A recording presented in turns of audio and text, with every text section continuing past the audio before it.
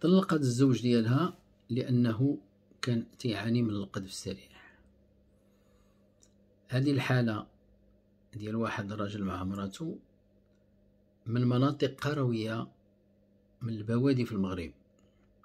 ماشي من نقولوا المدن المتحضرة. ولكن هاد المرأة هذه حقيقة فيها بزاف ديال المعاني والمقاصد لكل النساء المغرب. فهو مني عيط ليا. المهم شرح لي الحالة ديالو قال لي أنا راني مجوج هادي ثمانية سنوات. ودابا عندي جوج ديال الأولاد وخمس سنين وثلاث سنين. وهذه سنة باش طلقنا. قلت له شكون اللي طلب الطلاق؟ قالت لي قال لي المرأة. قلت له علاش؟ قال لي عندي قذف سريع. وقال لي عندي قذف سريع يعني ماشي غير سريع يعني بعد النوبات الأكثرية ما تنوصلش حتى كاع باش يعني ندخل تنقذف. قلت له واش كنتي تدار؟ حتى أنا جاتني غريبة يعني وحدة اللي نقولوا في المدن هي نقولوا في البوادي وكذا وهي اللي راه تطلق عليه القذف السريع. أشنو خليتي العيالات في المدن؟ لأن عامة المرأة العربية والمرأة المغربية نقولوا يعني دائما ساكتة. ضربها ساكتة الراجل عذبها ساكتة. قجها ساكتة. المهم عنده شي اضطرابات جنسية ساكتة. ما تتقدرش تدافع على حقها ولا حتى شي حاجة. هذه لا.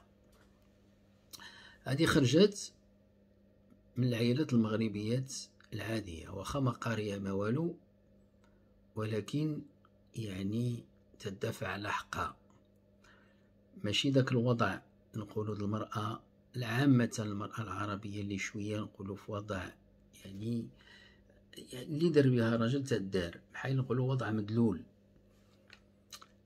يعني أنا جاني غريب كيفاش وحدة من البوادي راه طلق راجلها على حيت عنده قذف سريع ثماني سنوات وهي صابرة عليه.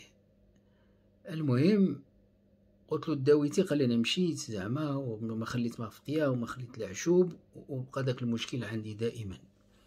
وهي طبعا في كل علاقة جنسية هو تيجيب الشهوه ديالو وهي ما تجيبش والمرأة تتبقى مقلقة ومعصبة ومسعورة.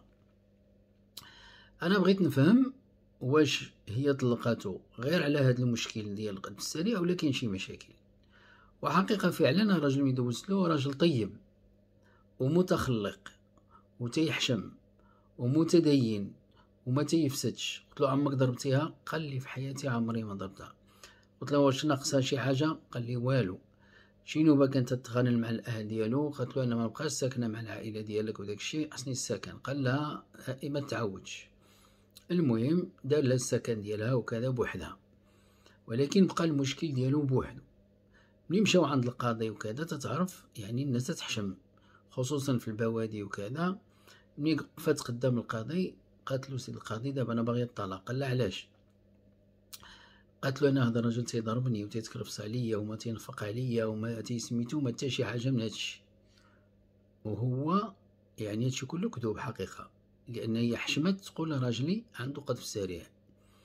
ملي سول القاضي الراجل قال له أنت اش تقول في هذا الكلام؟ قال أنا زعما ما تنضربهاش وكذا وسميتو ولكن يعني بيناتنا المشاكل وتنتغنوا وتندابزوا وهو بالرجل ما قدرش يقول له بأنني عندي قذف سريع. لأن اذا بزاف المشاكل جنسيه تقدر توصل يعني القضاة ولكن المرأة راه تكذب وراجل راه يكذب ما راه يقولوش الحقيقة علاش باغيين يطلقوا. هو يعني تقهر الراجل لأن المرأة مصرة قالت له والو ما نشوفكش. قال لها أعطيني هي شوية ديال الوقت عاوتاني نشوف شي طبيب على الله يسهل الأمور بإذن الله. والأمور تصلح وما نطلقوش ويقالوا بلادي مكرفص وحقيقة زعما كان المفروض على أنها تزيد صبر شوية ولكن هي صبرت ثماني سنوات. ما تيضربها ما تيتكرفس عليها ما تيعذبها ما تيشتمها. كلام ديالو طيب فقط المشكل الوحيد اللي عنده القذف السريع. ما بالك؟ شحال العيالات عندنا في المغرب؟ كما أشرنا. اللي قجها واللي طرشها واللي هرسها واللي ضربها واللي تكرفس عليها وزيد وزيد وزيد وزيد وزيد وزيد وزيد والمرأة لا حول لها ولا قوة. هذه خرجت هاد المرأة هذه هي من المدن القروية ديالنا المغرب ولكن تبارك الله عليها. ماشي حنا تنشجعوا على الطلاق. اللي عجبني فيها هو أنها تدافع على الحق ديالها. أن من حق حتى هي تكون عندها شهوة جنسية. وما كانش يضرب عليها. طبعا اذا كانت المرأة مثلا تتكرفص وتضرب وكذا تبقى ساكتة. لا تدافع على حقها. أن متى تصبر المرأة على ذاك العذاب؟ شو كيفاش يطلعوا الاولاد زيرو. هذا مسطي هذا حمق هذا كذا هذا مخدر هذا سميتو هذا سميتو. اذا يعني دائما تنقول المثل تيقول il vaut mieux être seul que mal accompagné إما راه تعيش مزيان إما يعني الإنسان ما يصبرش على الذل والهوان والأذى. هذه لا. قالت له أنا ما نشوفك ما نراك فقط لأن عنده القذف السريع.